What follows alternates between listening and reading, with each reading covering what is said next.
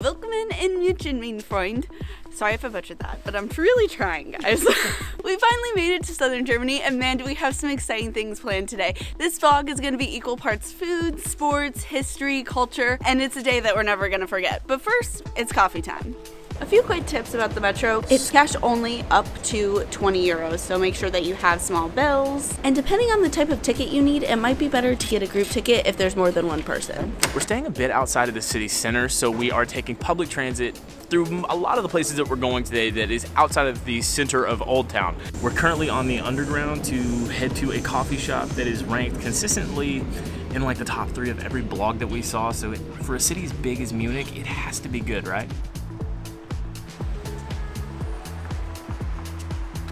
Well, that's a bummer. Uh, Cafe Blah is closed right now.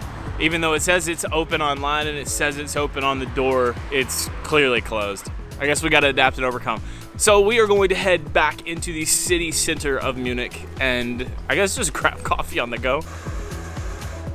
We grabbed two flat whites at Vits Der Coffee. It's quickly on the way to where our next stop is and also conveniently placed to Old Town. Cheers! And it's open. And it's open. Look at those. Really? I will be getting one of them.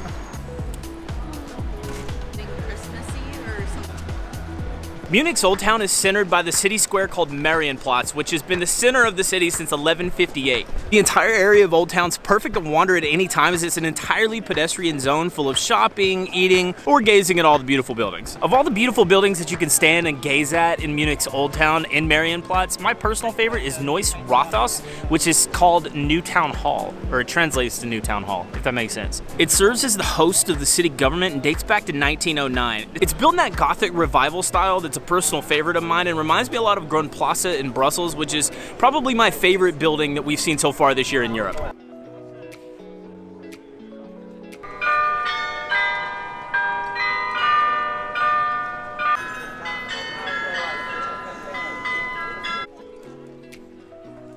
In the center of Munich, there are so many beautiful churches, so rather than try and see all of them, which would take literally all day long minimum, we're going to keep it to three.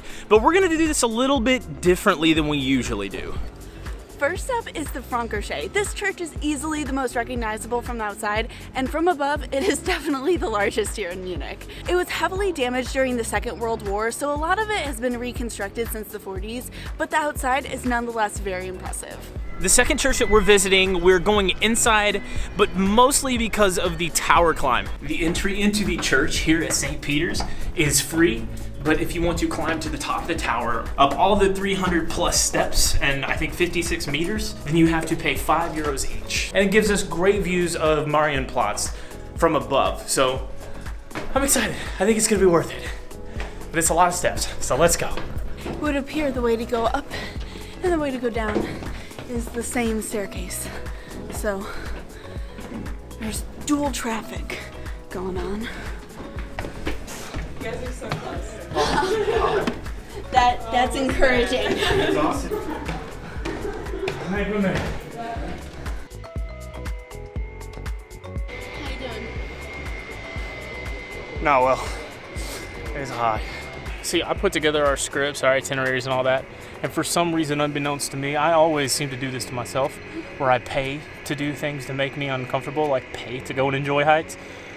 I don't know why I do this.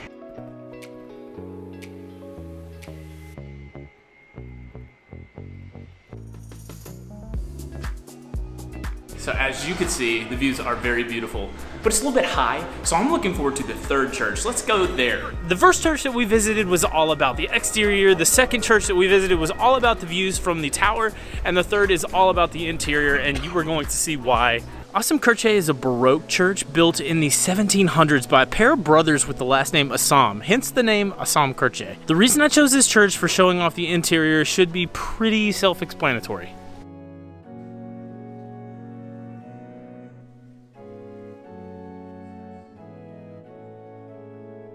Apologies for not a ton of shots on the inside of the church. I really tried to be as respectful as I could because there was a service going on, which is a little bit surprising because it normally opens at like 9 or 10 a.m., but on Fridays it opens at 1 o'clock, and it's because there is a church service. But currently there is still a service going on. So I just try to be as, you know, as, Respectful as possible. yep, took the words right out of my mouth. One of the best things you can do in Munich is visit a Hofbrau, which is essentially a, the German version of like a tavern or a pub. It's kind of like a beer garden. And we're about to head and get lunch at the most famous of all of them.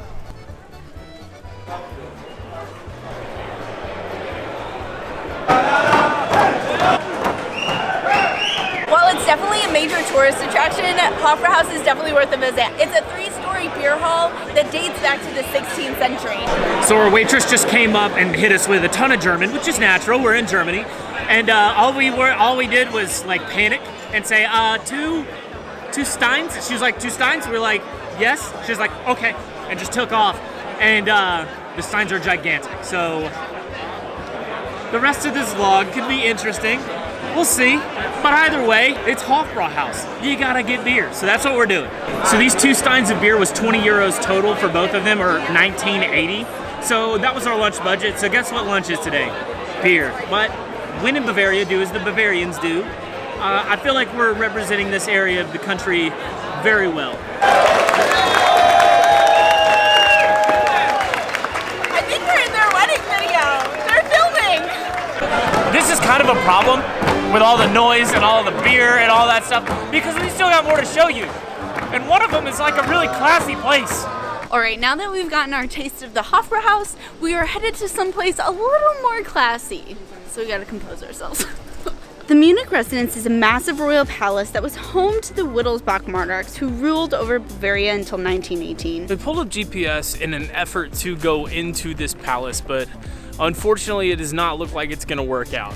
It's nine euros each, and it's supposedly really beautiful, but we have walked all around this place and can't find the ticket office.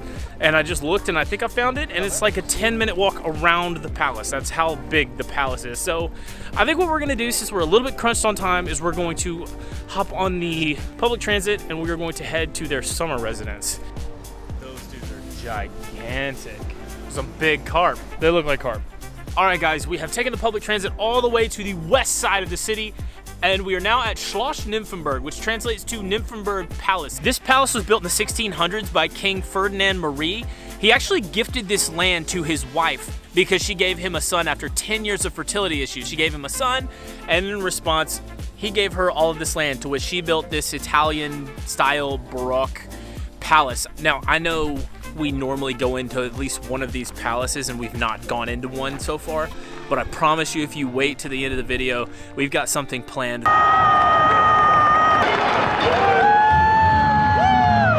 It's gonna be So nuts. exciting. It's gonna be a wild night, and it costs more than the price of the admission for both of these palaces. So, I think it's gonna be totally worth it.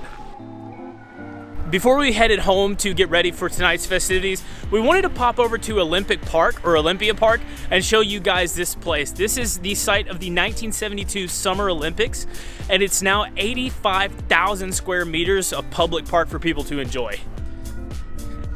So the highlight of Olympic Park is unquestionably Olympic Stadium. It was the site of the opening and closing ceremony for the 1972 Summer Olympics. And what makes it really unique is the fact that it has a tent roof. Now, I don't know if there are any others like that around Europe or around the world. If you know, then let us know. But it's the first that I've ever seen with a tent roof. And it was also the home to Bayern Munich until I think 2005 when Allianz Arena was built. But a little bit more on Bayern Munich just a little later. So as you can see, this park is absolutely massive, and it would probably take an entire vlog to show you all of it, and it would probably take an entire five vlogs to show you all of Munich. Munich is massive, and we still have some more things to show you. Before we go to our final thing for tonight, we wanted to go back to our neighborhood and show you another side of Hofbrauhaus because Hofbrauhaus is the biggest one in the center of Munich, but it's not the only Hofbrau. I'll film again, I haven't mastered that. No, me neither. As if we haven't had enough beer today. There are a bunch of these around in the surrounding areas. The Hofbrauhaus that we went to earlier in the center of Munich is the main beer garden, but there are some in the surrounding neighborhoods that are your more local style pub, but there's no pretzels being carried around here, so we might have to get one at our next activity.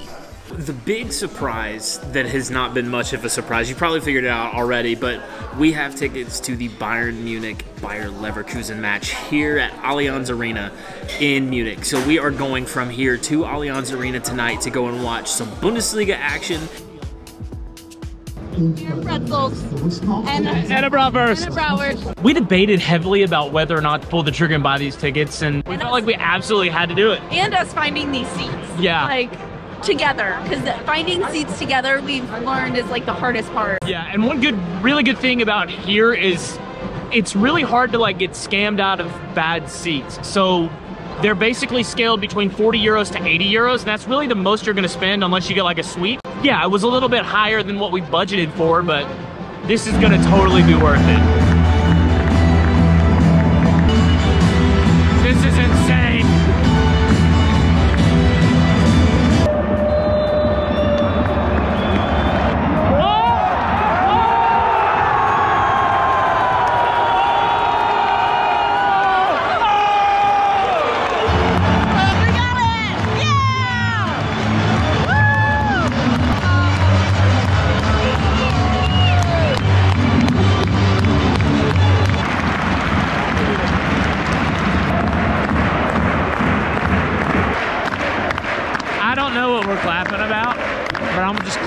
What everybody else is doing.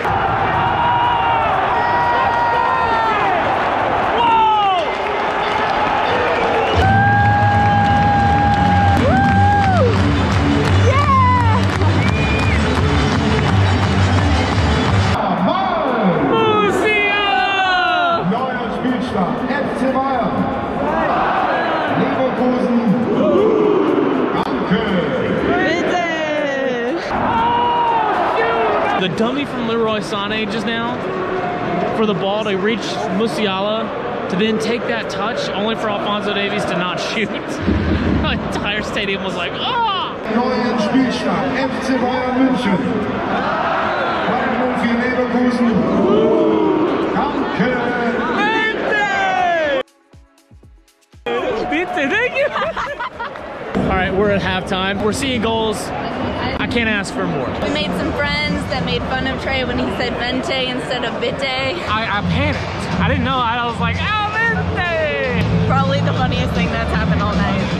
Look, my German's not great, but neither is my English, so it's okay. It all worked out. It all worked out. Today was all about exploring Munich and experiencing an epic Bayern Munich match. Obviously, this city is massive, and in order to show you everything, we'd need much more time here than what we're showing in this video. However, we aren't leaving Munich just yet. We planned this trip at the end of September for another reason than just today. We'll see you in a few days from Oktoberfest. Sometimes things just don't go to the plan, like the coffee shop being closed and not being able to find the entrance to a palace. And ordering too big of a beer. Ordering way too big of a beer. Oh my goodness.